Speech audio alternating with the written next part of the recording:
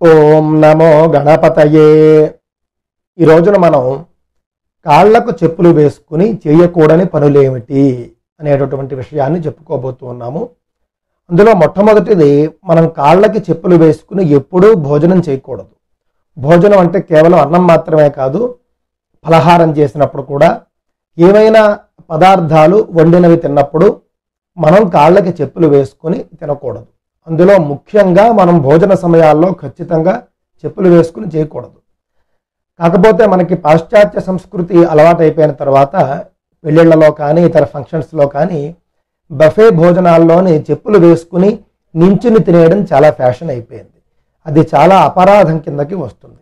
అన్నం బ్రహ్మ అని అన్నం పరబ్రహ్మ స్వరూపం అని మన యొక్క ఉపనిషత్తులు మొదలైనటువంటి శాస్త్రాలన్నీ చెప్తున్నప్పుడు మనం భోజనం చేసినప్పుడు చెప్పులు వేసుకుని తినడం వేద విరుద్ధమైన పని అవుతుంది.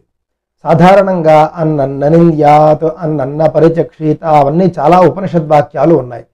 అన్నాన్ని గౌరవిస్తాను అన్నాన్ని పూజిస్తాను అన్నాన్ని ఎప్పుడూ కూడా వ్యతిరేకించను అన్నాన్ని అవమానించను అని. చెప్పులు వేసుకుని మనం భోజనం చేయడం అనేటటువంటిది అన్నాన్ని అవమానించినట్టే అవుతుంది. అన్నం యొక్క గొప్పదనాన్ని అన్నం యొక్క పరమాత్మ స్వరూపత్వాన్ని మనం తక్కువ చేసినట్లుగా అవుతుంది. కాబట్టి మనం భోజనం చేసినప్పుడు ఖచ్చితంగా చెప్పులు వేసుకుని భోజనం చేయకూడదు.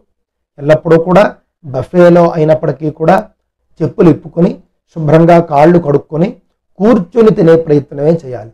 నించుని కూడా భోజనం చేయకూడదు. ఈ విషయాన్ని కూడా మనం దృష్టిలో ఉంచుకోవాలి. భోజనం తినడం అనేటటువంటిది ఒక పవిత్రమైనటువంటి కార్యక్రమం. ఆ యొక్క పవిత్రమైనటువంటి కార్యాన్ని ఎల్లప్పుడూ కూడా మనం పవిత్రంగానే చేయాలి. అంతేకాని తిరస్కార భావంతో అలాగే అక్కర్లేని విషయాలు మాట్లాడుకుంటూ అలాగ మనం భోజనం చేయకూడదు. కాబట్టి ముఖ్యంగా కాళ్ళకు చెప్పులు వేసుకుని ఎప్పుడూ కూడా భోజనం చేయకూడదు అనే విషయాన్ని దృష్టిలో ఉంచుకుని ఇక రెండవది మనం ఇళ్ళల్లో ఉన్నప్పుడు ఎప్పుడూ చెప్పులు ధరించకూడదు. నేటి రోజుల్లో చెప్పులు వేసుకుని ఇళ్ళలో తిరిగేయడం కూడా మనకు అలవాటు అయిపోయింది అది కూడా సరైనటువంటి విధానం కాదు.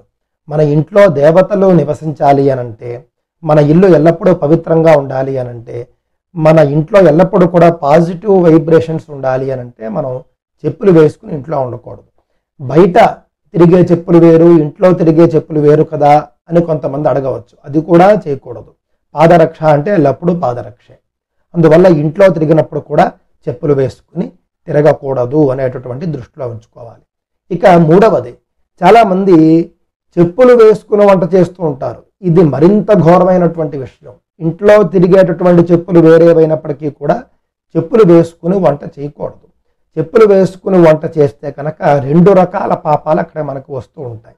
మనం అక్కడ అగ్నిదేవుణ్ణి అవమానించినట్లుగా ఒకటి రెండవది మనం ఆహారాన్ని అవమానించినట్లుగా రెండు.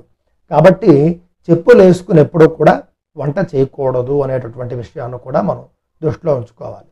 ఇక పెద్దవాళ్ళకి నమస్కారాలు చేసేటప్పుడు ఏ సందర్భంలోనైనా ఎప్పుడైనా కూడా మనం పెద్దవాళ్ళ కాళ్ళకి నమస్కరించాల్సి వచ్చినప్పుడు కాళ్ళకు నమస్కరించినప్పుడు చెప్పులు వేసుకుని నమస్కరించకూడదు.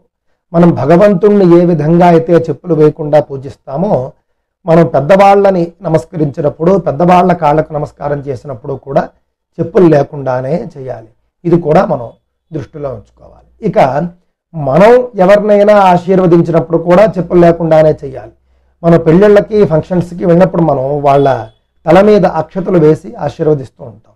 అప్పుడు చెప్పులు వేసుకునే మనం స్టేజ్ మీదకి వెళ్ళిపోవడం వాళ్ళ మీద అక్షతలు వేసి రావడం అనేది ఒక అంత మంచి వ్యవహారం కాదు. ఖచ్చితంగా ఆశీర్వదించినప్పుడు కూడా చెప్పులు లేకుండానే పవిత్రమైనటువంటి హృదయంతో పవిత్రమైనటువంటి దేహంతోనే మనం ఆశీర్వదించేటటువంటి ప్రయత్నం చేయాలి. ఈ విధంగా చెప్పులు వేసుకుని చేయకూడనటువంటి పనులు చాలా ఉంటాయి. నదీ తీరాల్లో తిరిగినప్పుడు నదిలో స్నానం చేసినప్పుడు నదిలోకి దిగినప్పుడు అలాగే చెట్లకు ప్రదక్షిణలు చేసినప్పుడు ఈ సందర్భాల్లో కూడా మనం చెప్పులు లేకుండానే మనం చేయాల్సినటువంటి అవసరం ఉన్నది. స్వస్తి.